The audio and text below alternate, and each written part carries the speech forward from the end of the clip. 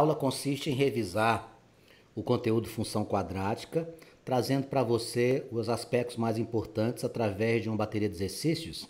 E a primeira questão que nós trouxemos para você é a seguinte: efetuar o estudo de sinais. Quando nós estudamos em aulas anteriores estudo de sinais, a gente está procurando simplesmente mostrar onde é que a função é positiva, onde é que a função é negativa e onde é que a função é igual a zero. Qual o procedimento, Vanks? Você vai pegar a equação, amigos, e vai, no primeiro passo, achar as raízes. O primeiro passo, achar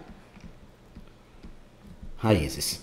Quando você fizer isso, você já está com a metade do exercício resolvido. Existem duas maneiras de você efetuar essa resolução. Primeira, você pode utilizar a Bhaskara. Se você fizer menos b, mais ou menos a raiz quadrada do delta, sobre 2A, onde o delta é igual a B2 menos 4AC. A segunda maneira é você achar por soma e produto. A soma das raízes é dada por menos B sobre A. E o produto das raízes é dado por C sobre A. Vanks, qual que eu devo fazer? Amigos, você escolhe.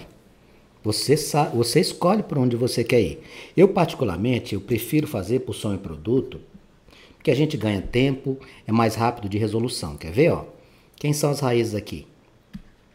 Para você achar as raízes por soma e produto, a soma vai ficar igual menos b, ó, menos menos 6 dividido por 1, que é 6. E o produto vai ser quem? 8 dividido por 1, que é 8.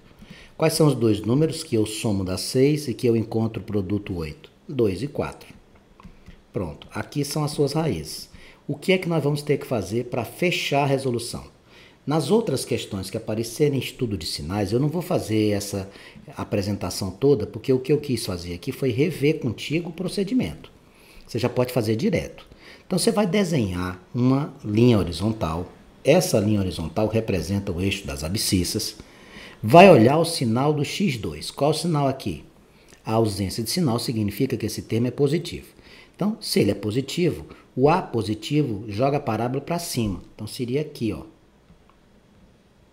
Aqui você tem o número 2 e aqui você tem o número 4. Quem estiver na parte superior do eixo é valor positivo. Quem estiver abaixo é valor negativo. Então aqui, ó, mais, menos, mais. Pronto, está resolvido o exercício. Como assim, Vanks? Onde estão os positivos? Eu vou fazer aqui, ó. fx será maior que zero para quem? Quem está à esquerda do 2 é menor que ele, para x menor que 2, ou quem está à direita do 4 é maior do que ele, x maior que 4. Onde eu vou ter fx menor que 0? fx menor que 0 é esse intervalo bem aqui, ó, que eu estou riscando. Vai do 2 até onde? Até o 4. Vanque-se onde é que fx igual a zero? fx igual a zero são as raízes para x igual a 2 e x igual a 4. Esse é o procedimento para o estudo de sinais de uma função quadrática. Terminou. Questão de número 2. Se x1 e x2 são as raízes da equação x2 menos 10x mais 16, então quanto vale x1 ao quadrado mais x2 ao quadrado?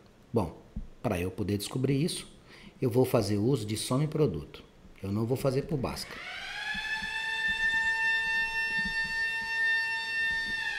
Soma menos B sobre A, produto C sobre A. Vou ficar com menos menos 10 dividido por 1. Isso aqui vai me dar 10 positivo. C sobre A vai ficar 16 dividido por 1. 16 positivo. Quais são os números que eu somo? Encontro 10, multiplico, encontro 16. 2 e 8 eu estou procurando x1 ao quadrado mais x2 ao quadrado. Tanto faz você chamar o x1 como o x2 de 2 ou de 8, porque eles estão elevados ao quadrado, vão ser somados, não vai influenciar em nada. Temos aqui 2 ao quadrado mais 8 ao quadrado. Minha resposta final, 4 mais 8 ao quadrado é 8 vezes 8, 64. A minha resposta da questão número 2 seria 64 e 8. x1 ao quadrado mais x2 ao quadrado. Na questão de número 3, nós temos uma situação contextualizada, a gente vai ter que ler e montar a equação. A soma do triplo de um número natural x com seu quadrado corresponde a 40. Ao elaborarmos a expressão que representa essa situação, nos deparamos com a equação de segundo grau incompleta. Determine o valor de x. Vamos montar a equação. A soma do triplo de um número natural x. O que é triplo? Três vezes. Então, 3x mais. É soma com seu quadrado. O que é que é quadrado de x? x ao quadrado. Corresponde a 40. Igual a 40. Ah, então o que é que eu vou fazer aqui para determinar o x? Você está vendo que tem um x com expoente 2? Estou. Então, se você tem um x com expoente 2, é uma equação de segundo grau. Pega esse 40, por sugestão, joga ele para cá. Ó. x2 mais 3x menos 40 igual a zero. É uma equação de segundo grau com o a valendo 1, o b valendo 3 e o c valendo menos 40. Vanks, eu vou achar isso aqui por onde? Você vai achar isso aqui por Bhaskara ou soma e produto. Eu vou fazer por soma e produto. Soma menos B sobre A. Menos 3 dividido por 1. A soma vai dar menos 3. Produto. C sobre A. Menos 40 dividido por 1. Isso aqui vai dar menos 40. Vanks, eu tenho dificuldade de ver isso aqui. Se você tem dificuldade de fazer por soma produto, não se assuste. Faça Bhaskara. Se eu procurar dois números que somando dá menos 3 e multiplicando dá menos 40, eu vou encontrar menos 8 e 5. Some menos 8 com 5, menos 3. Multiplique menos 8 com 5, menos 40. Porém, ele diz que x é um número natural. Se x é um número natural, ele pode ser menos 8? Não, porque os naturais são números inteiros e positivos. Então a minha resposta seria quanto? x igual a 5.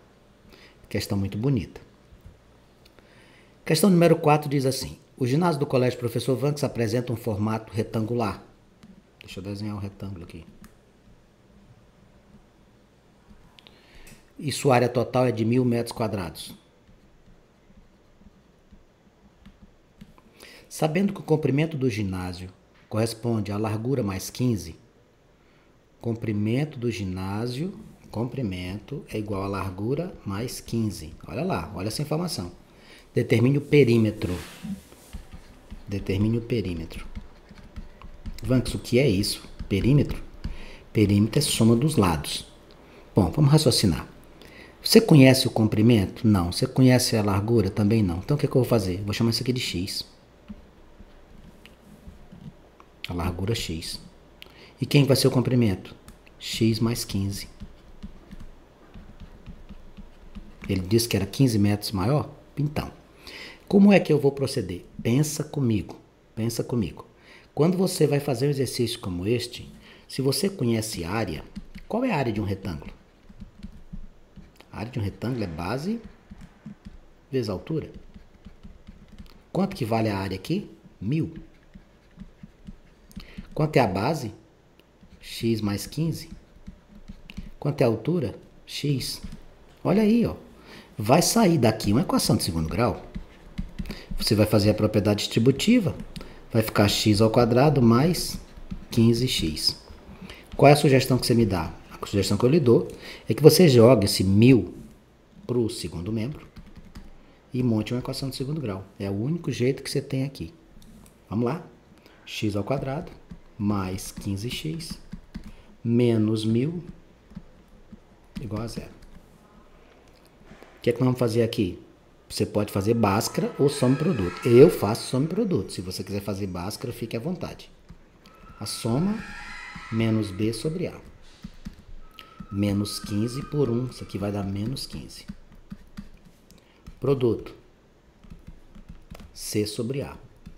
Isso aqui vai ser menos 1000 dividido por 1. Vai dar menos 1000.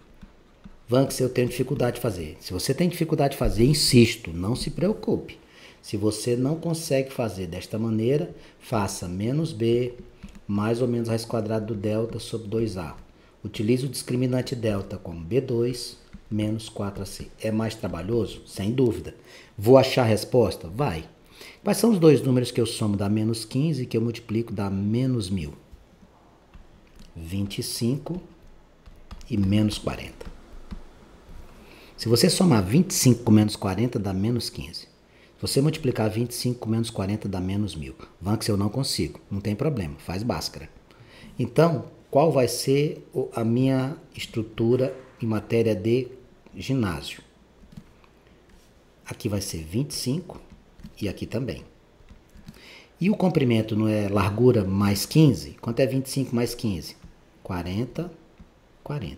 O que é que eu estou procurando? Vanx, você está procurando perímetro. Bom, se eu busco perímetro, eu vou somar todo mundo. 25 mais 25 mais 40 mais 40. 50 mais 80, eu vou encontrar um perímetro de 130 metros. Perímetro é soma dos lados. Na questão número 5, o que é que a gente traz para você? Para resolver determinada equação, Marta registrou-a da seguinte maneira: x2 menos 8x mais 4m igual a zero. Como ela sabia que a equação tinha duas raízes reais iguais e estas eram positivas, conseguiu determinar o valor de m, que é, bom, quem define a quantidade de raízes e as suas características é o discriminante delta. Aproveito a questão número 5 para lembrar com você essa informação que é muito relevante.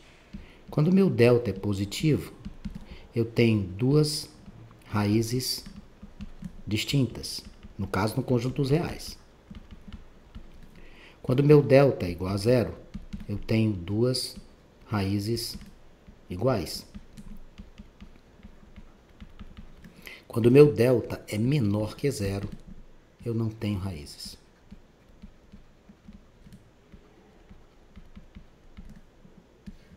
Este exercício trouxe o que para você? Duas raízes iguais. Então é aqui, ó. Quais são os elementos desse, dessa equação? O seu A vale 1, o seu B vale menos 8 e o seu C vale 4M. Duas raízes reais iguais, delta igual a zero. Vanks, como é que a gente calcula o discriminante delta? É o mesmo discriminante do, de Bhaskara? É. B2 menos 4 AC. Menos 2, menos 4, AC. Então, vamos ficar com menos 8 ao quadrado, menos 4 vezes 1, vezes 4m. Isso aqui tudo igual a zero. Ah, você fez o delta igual a zero. Fez o delta igual a zero. Para poder achar o valor do m. Menos 8 ao quadrado dá 64. Menos 4 vezes 4 dá menos 16. Repete o m igual a zero. Joga esse 16m que está negativo para o segundo membro, você vai ficar com 64 igual a 16m. O que, que você vai fazer agora? Você vai passar o 16 dividindo. Quando você dividir 64 por 16, você vai descobrir que o seu m vale 4. Questões bonitas, que eu estou relembrando tudo. Você é muito inteligente. Questão número 6, ele fala das coordenadas do vértice de uma equação. Antes de resolvê-la, eu queria lembrar o seguinte: uma equação de segundo grau é escrita da seguinte forma: ax2 mais bx mais c igual a zero. Se o a for positivo, você vai ter uma parábola para cima. Se o a for negativo, você vai ter uma parábola para baixo. O delta maior que zero, duas raízes diferentes. Delta igual a zero, duas raízes iguais. Delta menor que zero, nenhuma raiz. Eu preciso lembrar disso, não tem jeito. Se não lembrar disso aqui, você não consegue fazer nada. Bom, agora eu vou falar do tal do vértice, tá bom? Aqui e aqui eu tenho ponto chamado de ponto mínimo e ponto máximo. Quando a parábola está para cima, você tem um ponto mínimo. Quando a parábola está para baixo, você tem um ponto máximo. E aí você consegue deles as coordenadas do vértice, que são dadas por menos b sobre 2a e menos delta sobre 4a. Só que eu te dou uma, uma sugestão. Sempre que você for fazer, isso aqui é o seu x do vértice e aqui é o y do vértice. Sempre que você for fazer, não precisa se preocupar com a segunda parte do vértice, tá bom? Ache o primeiro, que é menos b sobre 2a, que é mais fácil, e o segundo substitua na forma da equação. Não precisa fazer menos delta sobre 4a, vai dar uma conta muito grande. Faz o menos b sobre 2a, achei o resultado. Substitui na equação, tá bom? Mostre isso para mim, claro. Olha aqui, ó. Quem é o seu a aqui? 1, seu b, 7, c, 12. Coordenadas do vértice, menos b sobre 2a, menos delta sobre 4a. Quem você vai usar, Vanks? Eu vou usar só o primeiro. O x do vértice vai ser menos 7 sobre 2. Pronto. Por quê? Por causa da fórmula. Quanto é o A? 1. O x do vértice vai ser 7 sobre 2. Terminou aqui. 7 sobre 2.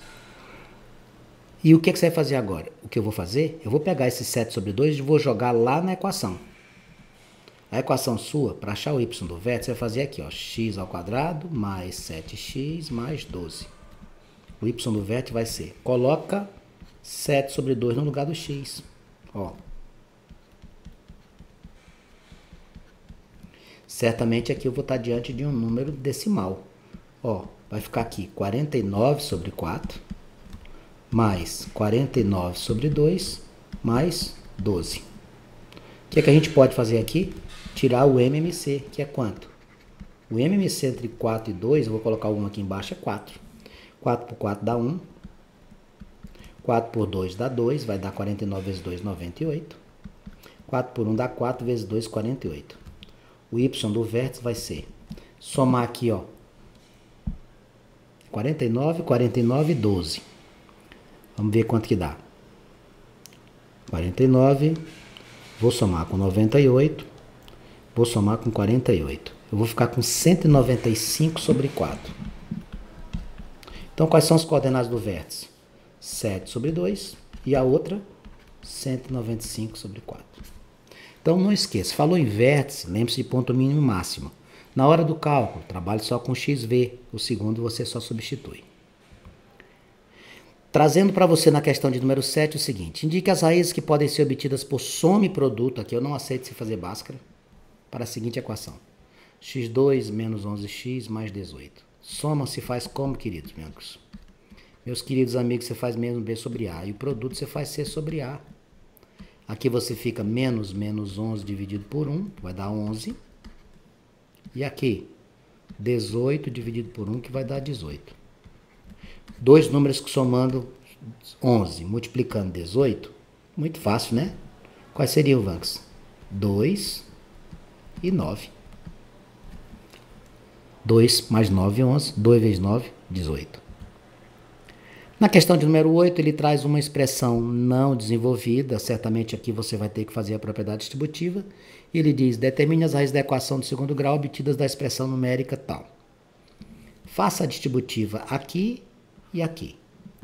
x ao quadrado mais 2x menos 2x mais 6 igual a 22 x ao quadrado, eu vou cancelar mais 2x com menos 2x, mais 6 igual a 22.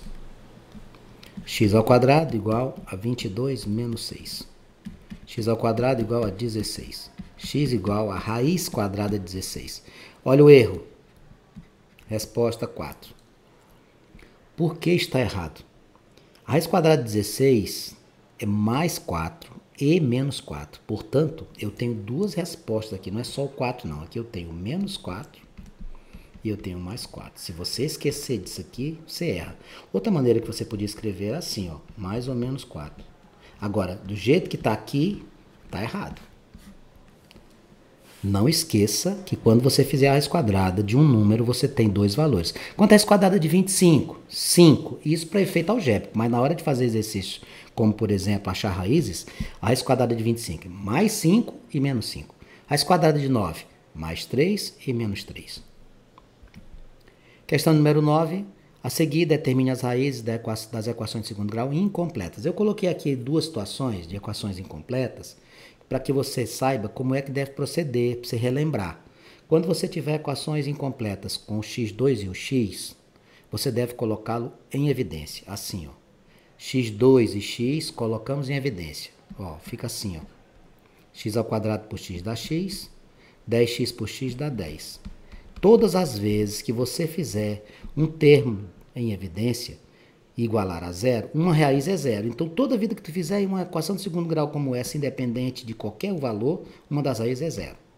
Vamos que se a outra raiz é o número que zera aqui, ó. Quem é que zera esse moço? É o 10 positivo, porque 10 menos 10 dá zero. Pronto.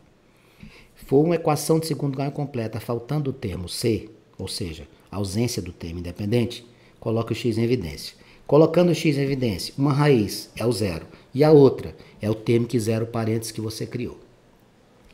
Nas equações incompletas que você não tem o termo x, é mais fácil ainda. É só calcular a raiz quadrada. Ó, 2x ao quadrado, passo 98 para cá positivo. x ao quadrado vai ser 98 dividido por 2. x ao quadrado igual a 49. x igual a raiz quadrada de 49.